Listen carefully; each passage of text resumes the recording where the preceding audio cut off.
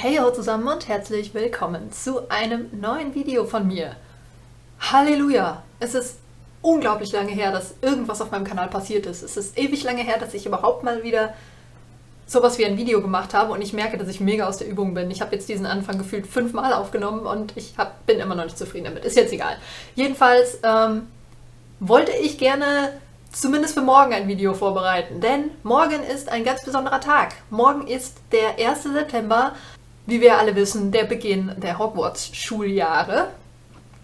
Die Sommerferien sind vorbei, die Schule geht wieder los und dieses Jahr ist für uns alle ein ganz besonderes Jahr, denn dieses Jahr ist 19 Years Later. Das bedeutet, dieses Jahr ist das Jahr, in dem Harry und Co. ihre Kinder ähm, zum Hogwarts Express bringen, in dem quasi der Epilog der Harry Potter Bücher spielt. Und morgen wäre quasi genau dieser Tag. Es ist ziemlich seltsam, dass dieser Tag tatsächlich einmal kommt, obwohl ja klar war, als die Bücher geschrieben wurden, dass äh, es irgendwann soweit sein wird. Aber wenn man mit diesen Büchern aufgewachsen ist, so wie ich, als Kind sie gelesen hat und sich denkt so, okay, am Ende der Bücher waren diejenigen, die ihre Kinder da zum Hogwarts Express bringen, Erwachsene und hatten selber Kinder. Registriert man, dass man im selben Alter ist wie diejenigen, die jetzt da gerade ihre Kinder zum Hogwarts Express bringen. Und dass man erwachsen ist und dass man alt wird. Es ist seltsam. Es ist wirklich ziemlich seltsam. Und ich muss zugeben, ich habe irgendwie.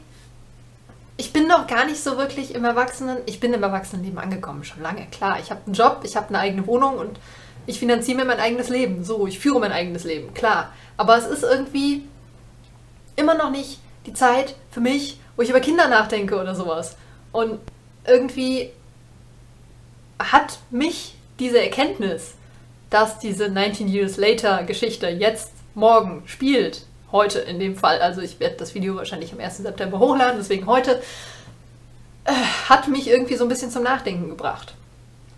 Wir sind tatsächlich mit dieser Serie, mit dieser Buchreihe, mit dieser Geschichte aufgewachsen. Viele von uns sind damit aufgewachsen. Viele kommen jetzt natürlich auch wieder dazu, beziehungsweise sind durch Fantastic Beasts dazugekommen, sind durch die Filme dazugekommen, kennen teilweise nur die Filme. Aber mir wird das erste Mal auch wirklich bewusst, wie riesig groß die Potterhead-Community ist. Es ist der absolute Wahnsinn, wie viele Leute man auch tatsächlich überall auf der Straße trifft, die mit Klamotten von Harry Potter rumlaufen, die mit Tätowierungen von Harry Potter rumlaufen, die wirklich diese Geschichte gelebt haben und immer noch lieben. Und irgendwie wollte ich das gerne einfach mal loswerden. Es wird auch so ein bisschen noch ein Random-Video. Ich habe auch, hab auch vor, noch ein bisschen so random-mäßig noch ein bisschen was zu quatschen. Ich habe keine Ahnung, wie lang dieses Video wird. Aber anlässlich des 1. September wollte ich definitiv ein Video raushauen, denn auch wenn das hier kein Potter-Kanal ist, fühle ich mittlerweile, wie Harry Potter auf meinem Kanal Fuß fasst und bin der Meinung, es gehört definitiv dazu wenn es auch nicht unbedingt das Hauptthema meines Kanals ist. Ich freue mich auf jeden Fall, dass ihr bei diesem Video dabei seid. Ich freue mich, dass ich endlich mal wieder was raushauen kann und ähm, der Grund, warum ich jetzt einfach so lange nichts gemacht habe, ich sehe komplett fertig aus, merke ich gerade. Oh mein Gott. Und das, obwohl ich jetzt drei Wochen Urlaub hinter mir habe. der Grund, warum so lange nichts passiert ist, war einfach, dass ich eine Auszeit brauchte. Ich brauchte eine Auszeit von so ziemlich allem. Ich habe unglaublich großen Stress auf der Arbeit gehabt, einfach weil ich auf 100% arbeite. Das ist in meinem Job unglaublich hart.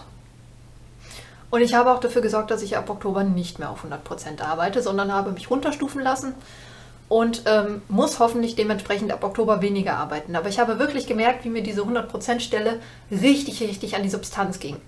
Und deshalb habe ich mich wirklich einfach von allem mal zurückgezogen. Ich habe mich aus YouTube zurückgezogen, ich habe mich aus den Foren zurückgezogen, aus denen ich, in denen ich jetzt wirklich sehr, sehr Fuß gefasst habe und auch wirklich unglaublich liebe und nette Menschen getroffen habe, die mir super, super ans Herz gewachsen sind. Und ja, bei einer war ich jetzt in meinem Urlaub auch zu Besuch. Das war mit Abstand das erholsamste im ganzen Urlaub. und ja, auch da habe ich mich wirklich komplett zurückgezogen und habe gesagt, Leute, ich brauche einfach mal ein, zwei Wochen komplett Ruhe und für mich. Licht, Raster aus, Kamera, Raster aus, es geht. Genau, ich habe mich selbst aus meinem Privatleben mehr oder weniger zurückgezogen, habe mich mit Interaktionen mit anderen Menschen auf das Minimum beschränkt und habe wirklich mal versucht, so ein bisschen wieder runterzukommen. Es hat funktioniert. Ich fühle mich zumindest körperlich wieder so fit, dass ich jetzt äh, ohne zusammenzuklappen auf die Arbeit gehen kann. Hoffe ich. Und freue mich unwahrscheinlich, wenn ich den September noch rumbekommen habe und weiß, dass ich nicht mehr auf 100% arbeiten muss. Und freue mich vor allem auf das Ende dieses Jahres, weil irgendwie dieses Jahr ging unglaublich schnell rum. Ist das nur mir so vorgekommen oder ist das auch euch so vorgekommen? Ich habe das Gefühl, das Jahr hat gerade erst angefangen und schon ist es wieder fast vorbei. Wir haben September, Leute. Das ist der Wahnsinn. Zwischenzeitlich hatte ich auch Geburtstag, by the way, aber von meinem Geburtstag weiß ich, pff, von meinem Geburtstag bekomme ich nie wirklich viel mit. Einfach, weil mein Geburtstag für mich nichts Besonderes mehr ist. Genauso wenig wie Weihnachten, genauso wenig wie Ostern. Irgendwie sind die Feiertage nichts mehr, worauf ich mich freuen kann. Ich weiß nicht genau warum. Ich, ich weiß warum, aber ich möchte da nicht näher drauf eingehen. Jedenfalls, ähm, mein Gott, ist das ein persönliches Video. Hilfe. Ich hoffe, ich verschrecke euch damit nicht. Bleibt bei mir. Was ich jetzt auch es gibt, es gibt einige Neuerungen in meinem Leben, die nochmal einiges an Zeit gefressen haben, weshalb auch wieder YouTube so ein bisschen in den Hintergrund gerückt ist. Aber das wird sich jetzt alles ändern. Einige der Neuerungen sind unter anderem Midnight Breed. Midnight Breed ist eine Buchreihe, ähm, die mir von einer lieben Freundin empfohlen wurde und äh, die ich gleichzeitig knutschen und verhauen könnte dafür. Ähm, diese Buchreihe frisst unglaublich viel Zeit bei mir. Ich bin mittlerweile bei Band 4 von 13 oder 14.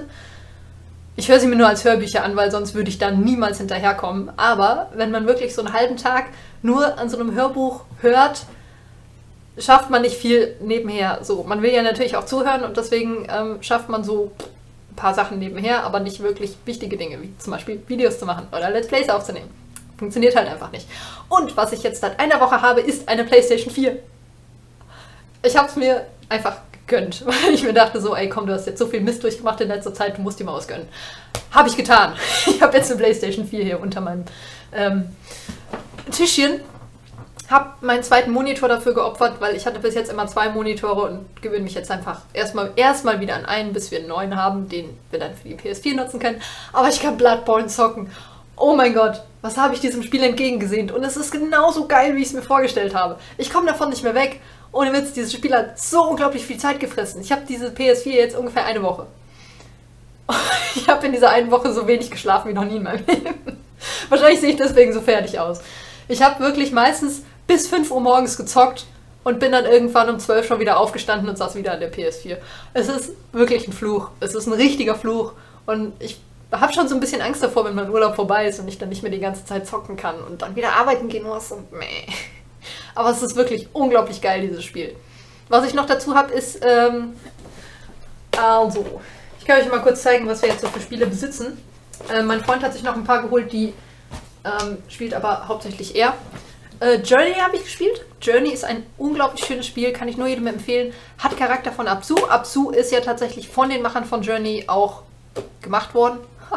was für ein Wortschatz ich heute wieder besitze. Ich bin begeistert. Genau. Ähm, und Journey ist quasi so, so ein kleiner Vorgänger von Absu. Spielt in einer ähnlichen Welt, aber nicht im Ozean, sondern in der Wüste und ist unglaublich schön. Ich hatte so viele Gänsehautmomente und ich bin wirklich am überlegen, ob ich es mir irgendwie, ähm, ob ich es irgendwie schaffe, dass ich auch von der PlayStation Let's Plays mache. Aber ich weiß es noch nicht genau. Ich finde es eigentlich ganz schön, eine Konsole zu haben, bei der ich nicht bei jedem Spiel irgendwie das Gefühl habe, boah, du könntest davon ein super Let's Play machen. Einfach mal spielen können, einfach mal chillen können. Mega gut. Bloodborne auf jeden Fall ein Spiel, das ich jedem nur empfehlen kann. Es ist unglaublich geil. Es ist im, im, Prinzip nichts anderes als Dark Souls.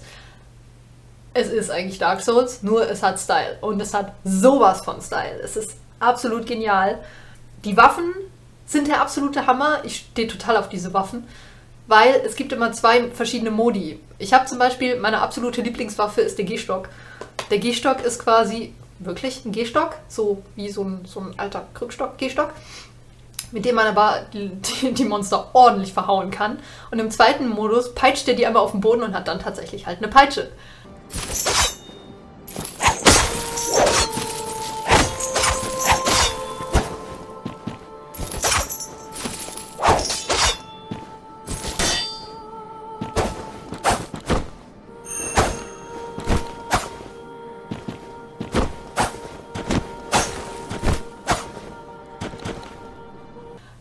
Ist so cool, ich liebe diese Waffen. Und die Klamotten sind natürlich, es ist alles so ein bisschen im viktorianischen Stil gehalten.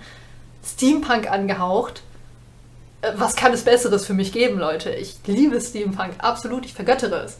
Und das in Verbindung mit einem Spiel, wie diesem ist der Wahnsinn. Ich, ich schwärme euch hier einen vor des Todes, aber es tut mir leid, ich liebe dieses Spiel einfach nur abgöttisch. Die Kingdom Hearts äh, Reihe Spiele, es spiegelt hier, es tut mir fürchterlich leid. War mit ein Grund, warum ich unbedingt eine PS4 haben wollte. Denn ich bin absoluter Fan der Kingdom Hearts Reihe. Ich liebe diese Spiele. Und hier sind Teil 1 und 2 quasi recoded drin, also als HD neu aufgelegt. Und dazu kommen noch ähm, Kingdom Hearts Final Mix, die ultimative Version. Ich bin mir nicht ganz sicher, was das beinhaltet. Ich werde es aber noch rausfinden. Kingdom Hearts Rechain of Memories, das, was es damals für, die, für, die, für den Game Boy Advance gab, was ich absolut gesuchtet habe und was ich unbedingt auf einer Konsole spielen wollte. Und jetzt kann ich es. Ah, dann Birth by Sleep, was es nur für die PSP gab. Jetzt auch hier auf Konsole. Dann.